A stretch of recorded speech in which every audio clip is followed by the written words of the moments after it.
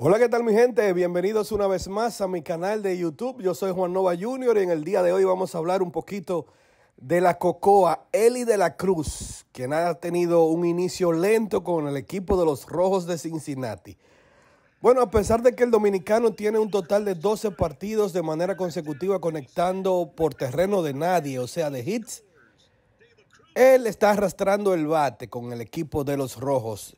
Eli apenas lleva un total de 250 de promedio de bateo, no ha conectado de cuadrangular y apenas ha remolcado una carrera en un total de siete partidos que han efectuado el equipo de los Rojos de Cincinnati en este 2024.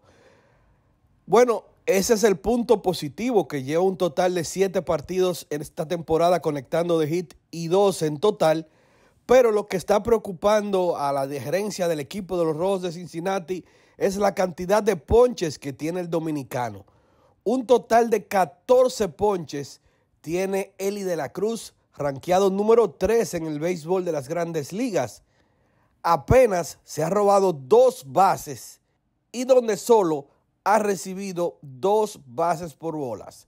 Esos numeritos que le estoy diciendo preocupan a la gerencia del combinado de los Rojos de Cincinnati porque Eli, a pesar de que está en su segunda temporada y que apenas está iniciando esta temporada, debe seguir mejorando, especialmente esa cantidad de ponches que se está dando el dominicano.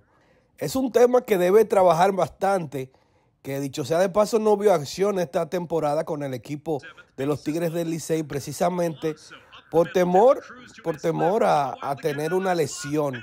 Pero quizás eso pudo influir en, esa, en esta participación que está teniendo al inicio de la temporada. Él apenas ha tomado 28 turnos, imagínese usted, casi la mitad de sus turnos son ponches y apenas ha conectado 7 indiscutibles. Así que en cuanto a los errores, hay muchos errores mentales y en tiro del dominicano Eli de la Cruz, que es otro de los aspectos que debe seguir mejorando.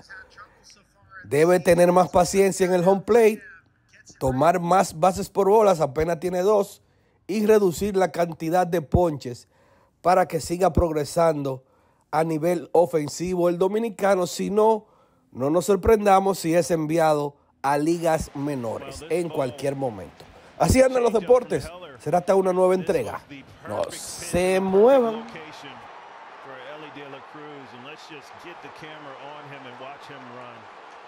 The man can absolutely fly. And he